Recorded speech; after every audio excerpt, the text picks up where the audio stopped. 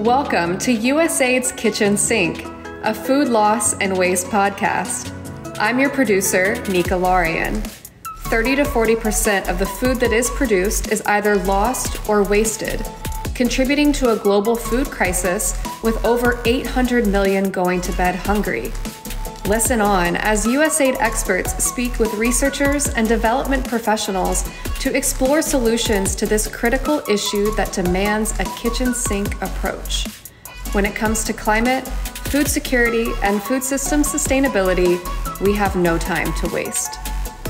Thanks for tuning in to USAID's Kitchen Sink, a food loss and waste podcast. My name is Nika Larian, food loss and waste advisor and producer of the USAID Kitchen Sink. Today, I am joined by Diane Letson, Vice President of Food Industry Partnerships for Feeding America. Together, we will discuss the role of food banks in reducing food loss and waste. Welcome, Diane. Please introduce yourself. Thank you for having me, Nika. Good morning.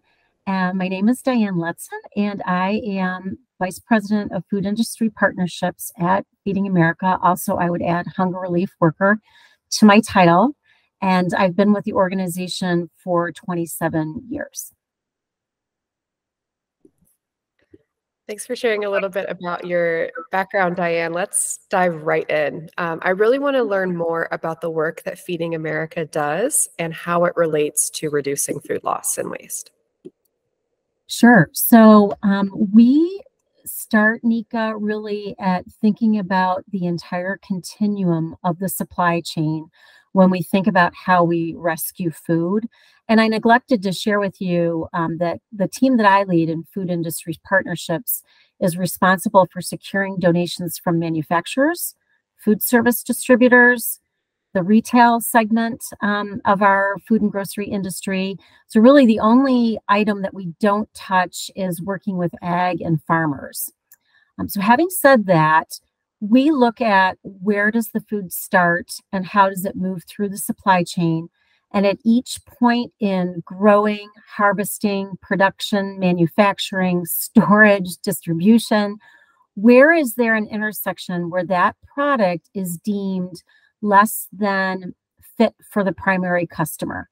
So it might end up being food waste right? So we start really with relationships with farmers and ag that food being produced or grown, I should say, what happens if um, there really isn't a market for it because the market is flooded with that particular commodity? What happens to all of that produce that's been harvested?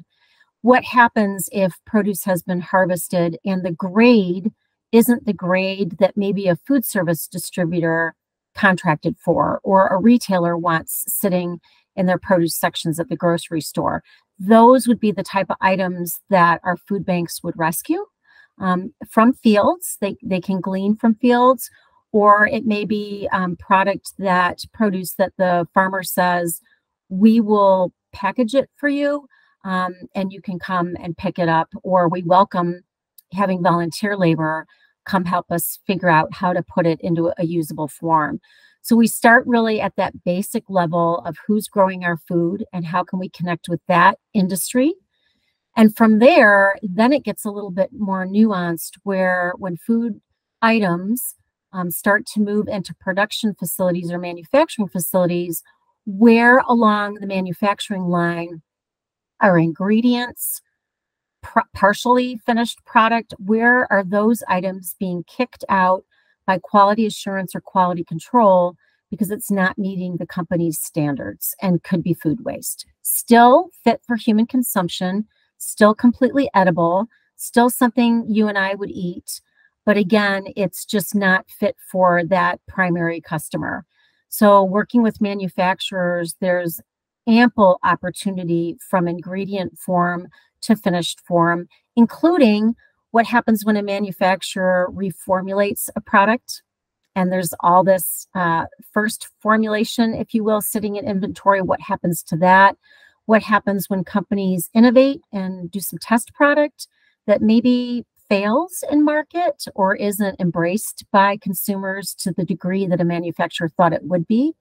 So there's that whole segment, um, also including food service, which rescuing that sometimes can get a little more tricky because now we're talking about huge cans of diced tomatoes, right? Rather than retail size cans of diced tomatoes, but still an item that we would want to rescue and save from landfill um, and can be used in commercial kitchens or containers like that often are appreciated by large families, families of 10 or more that we're serving. And then the final kind of leg, I would say, in our journey um, is working with retailers. So the retail industry, retail grocery stores on a daily basis have items that will not go to shoppers, will not go to consumers. So what happens to that? Is it an item that can be donated? Does it end up in compost? Um, how can our food banks and their partner agencies insert themselves into that food loss and food waste solution um, so that we can capture more food to serve to hungry neighbors. Thank you for for sharing that information, Diane, and and explaining how Feeding America really serves as a connector. And one of these connections that I'd like to to dive deeper into is is talking about cold chain. We've previously done an episode with Amanda Brondy of the Global Cold Chain Alliance. So I'd, I'd like to discuss with you the synergies that exist between cold chain companies and food banks. Absolutely. Um, so of our 200 partner food banks, um, they vary dramatically in size. But one item that they frequently have in common is the concern that there's not enough cold storage space, whether that's refrigerator space or freezer space. And in many cases, our partner food banks and their affiliate food banks. So there's a whole umbrella system of the food banks and the partner agencies um, that work with us. So 200 food banks, 60,000 partner agencies. It's the same, uh, I w- I don't want to say complaint, but it's the st- same concern of we just don't have ample space for all of this cold storage. So partnering with folks like Amanda, um, it, it is a an absolute um, saving grace, if you will, in many cases when cold storage facilities step forward and say, "Hey, Houston Food Bank," or "Hey, um, All Faiths Food Bank, we have space for you that we're willing to donate." Because since we're a nonprofit organization, we're always looking for donations of space.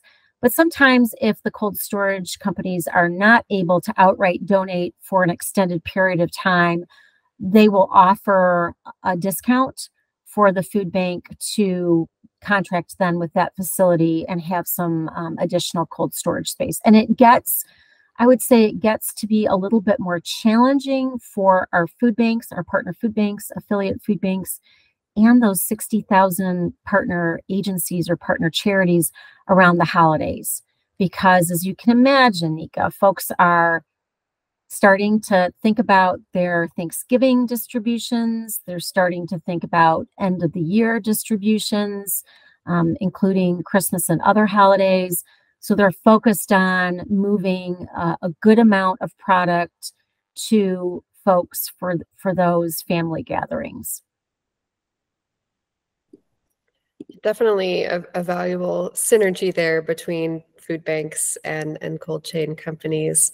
But I I want to discuss with you the role that food banks have beyond just food. I talked about Feeding America as being really a connector, and I know you kicked off our conversation by by talking about that. But I really want to conclude our conversation on on discussing the the role that these food banks play in our communities.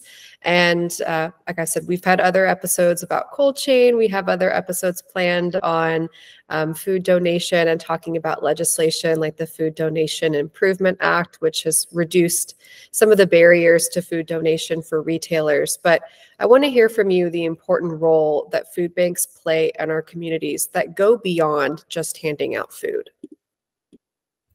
That's a great question, um, Nika.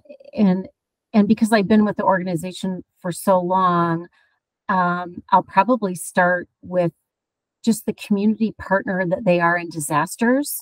that's top of mind given some of the events from over the weekend with flooding and tropical storms. Um, so the food bank is in the community, has been in the community, and will continue to serve the community long after some emergency relief organizations come in, serve, and leave, right? The food bank is also on the front line, often in conjunction with other nonprofits such as the American Red Cross. Um, I think of a wonderful example recently with World Central Kitchen. So we are on the front line serving and, and ensuring that folks that in time of disaster have the supplies that they need, whether it's it's food, water, personal care items are also in great demand during disasters as are cleaning products. And so we work in tandem with the other nonprofit organizations and government organizations during those disasters. But folks pull out, right? The other nonprofits pull out, leave, it's back to normal, if, if you can use that word, normal conditions. And the food bank is still serving that purpose for folks that have been impacted um, by disasters. Also, because they've been embedded in the community for so long, food banks are interested in serving food, providing food for neighbors, but food banks also realize the reason that a person is hungry often has to do with their economic situation. So, more and more food banks are working to have either in their facility or in conjunction with another nonprofit or for profit job training opportunities. So, they could be job training opportunities in the warehouse. Um, so, you learn how to be a warehouse employee. They could be job training opportunities in culinary. So, learning how to become a chef, learning how to work in a food service operation. Um, so, more and more of those type of programs are popping up. There's also food banks that are really interested in um, your financial literacy. So, in thinking of that continuum, right, of like, why is someone juggling medical bills and trying to put food on the table and maybe paying their rent and paying their utilities and fixing a car that needs repair. It goes back to that economic mobility and economic situation. So, in addition to job training, there's the thought of okay, could we provide additional resources in financial planning and budgeting so that we can help folks understand how to stretch a dollar even more? Um, in addition to all of that, there has been for quite a while with many of our food banks a focus on nutrition and helping to educate more of our neighbors on healthy choices and what is a rare food to consume, a sometimes food to consume, and an always food to consume. We don't want to be the food police, but we do want to help folks make healthy choices there are also food banks that have completely dove into understanding diabetes in their communities. And so they will tailor, we call them medical um, food boxes. So the, the box that you would receive if you have diabetes is very specific to your health needs. Um, so again, providing hope to folks through food, but then also providing additional pieces of the puzzle to help our neighbors really thrive and and i would say not only thrive but then excel um, so get them on a path that really promotes um, financial well-being as well as physical and, and mental well-being.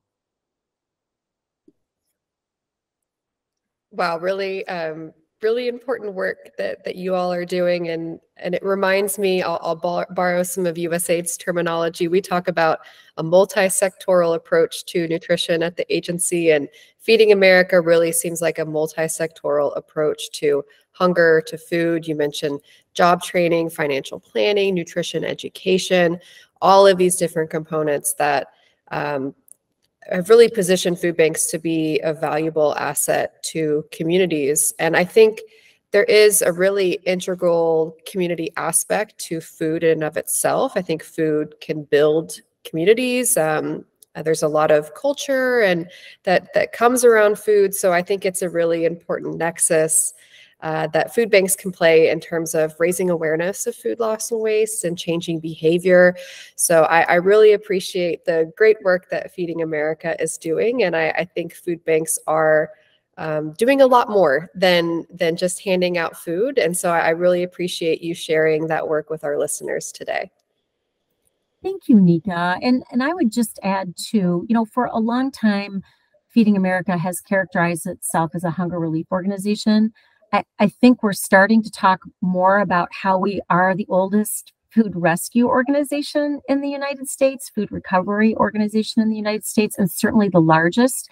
I think the two can work in tandem, right? We're rescuing that food, we're recovering that food to provide that hunger relief for our neighbors. Um, so I've been at it for 27 years with the organization, and I'm continuously impressed with how innovative our food bank partners are, and not just our 200 food bank partners, but also the affiliates that work with them and the 60,000 partner agencies and we saw a lot of that during COVID, that all of these entities pivoted almost immediately to create programs that would work for our neighbors. So, really keeping our neighbor at the center of the work with a constant reminder of this is why we're doing this, right? This is why we're rescuing food.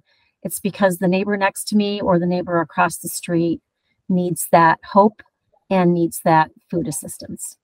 Absolutely. I I feel like food recovery is is definitely a, a hot buzzword right now in the food loss and waste space. So thank you for the reminder that this work has been going on for for quite some time and and thank you for your 27 years of, of dedication to to this topic. Um, but yeah, really appreciate the the time that you've taken today and um, have really helped, as you said, humanize um, and contextualize the, this issue of, of food loss and waste and how we can tackle it as a community. Thank you, Diane.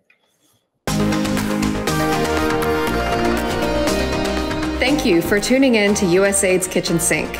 This podcast was produced by Nika Larian and is organized by the USAID Food Loss and Waste Community of Practice co chairs Ahmed Kablan and Ann Vaughn. Additional thanks goes to Feed the Future, the U.S. government's global food security initiative, and the USAID Center for Nutrition.